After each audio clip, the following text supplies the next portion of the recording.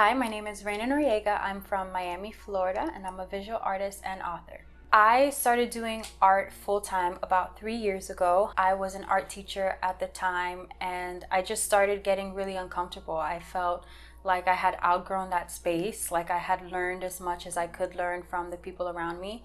And I did learn a whole lot there from my students and from coworkers and things like that. But it just got to a point where it felt like it was at a plateau and that was all I could ever aspire to, you know, make financially or do. And so from there, I guess the discomfort led me to remember my original dream, which was to be a full-time artist and start to figure out like how that could I could make that possible. I think my style evolves as I evolve and as the things that I'm concerned about within me um, change. I think I wanted to have a signature style immediately um, but there was so much noise in my head about like what I should do. So I think I finally came into my own style about two years ago after 10 years of painting. As a creator, I had watched, you know, all of the artists that I aspired to reach their level do Today at Apples. And I thought that like it would take years for them, for me to get to a point where they would think to ask me to do one. Um, so that was just kind of like a wow, like they see me moment after working with major clients, I it's very hard to work with commission projects because they just come with so much more clarity. You know, there's a team, there's set deadlines, there's set budgets. So it's taken a lot of like the mental toll that I used to have when I was freelancing and doing like smaller logo projects and things like that. You're fully responsible for the follow up and kind of like walking your client through what they want creatively. Um, whereas some of these bigger projects, like they're set creative briefs, and I just come in and they know what I do in my style and they trust me to do my thing, and it becomes a lot more simple. I do feel the pressure to constantly release and constantly, I guess, stay relevant. I'm trying to fight that urge and just kind of like talk to myself internally and tell myself that anything that I want to make that will be bigger than what I made before, it's going to take time and rest. And if I keep pumping out work, it's just going to be a lot of the same thing versus something that I've marinated in. I think art is an internal dialogue that we have within ourselves that we allow the world to see, whereas content is push for for the sake of relevance right? For the sake of staying current and starting maybe a dialogue on social media versus like the that internal relationship that we have with our work and that builds when you really enjoy the process versus enjoy the sharing of it. Everything that I create, I completely love for different reasons. I've always had this need to have my artwork be tangible.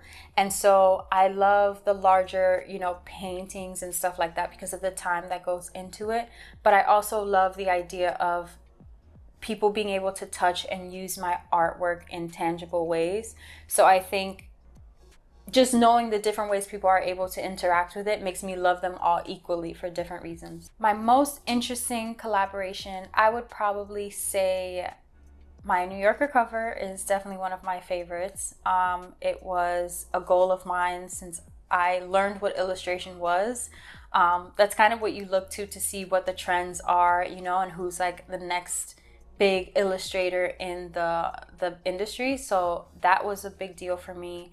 Um, aside from that, I think my the cloth diaper collab that I did with Esembly was really exciting because I want to see more of my prints on clothing and I would like to do something similar to that but for like adults more so. I've done some streetwear, I've done t-shirts and stuff like that, but me personally, I wear a lot of like dresses with prints like I'm wearing now and I really want to see my artwork translated in that way. So that was like a little sample of what I could do.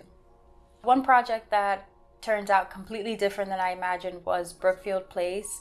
Um, the installation that I did in New York City, when they approached me, it was like two weeks out from when they needed the artwork by. And the way it was explained to me was just that, you know, they needed some digital files and they were going to put it on like the building.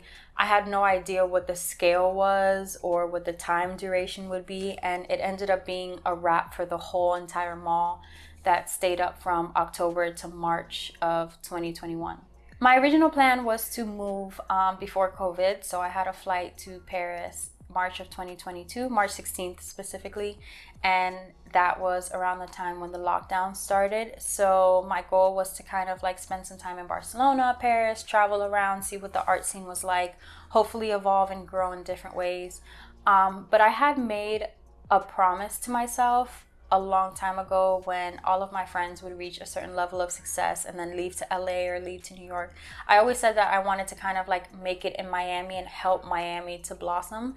And I feel like the universe keeps anchoring me down here even when I try to leave because of that wish and that promise that I had for myself. So I guess I still have more work to do here and more roots um, to sow, but I do, I mean, I love traveling and I would love to see what life is like um, somewhere else. I encourage all artists that are looking to do this full time or looking to expand or really want to have a message, make sure that you are working, doing the inner work. Um, make sure you're fully confident and grounded in who you are. Make sure you don't need validation from anyone. I think those are the things like once you're centered within yourself, you can hear those voices telling you it's time to move on, it's time to expand, it's time to grow, um, and you have no sense of doubt because you know yourself that intimately. My next big projects would be my third book releasing very soon. Um, you can look out for that, and my collaboration with Bal Harbour. I'm going to be doing a magazine cover and an installation inside the mall, so I can't wait for you all to see that. Reyna Noriega underscore on Instagram or www.reynanoriega.com.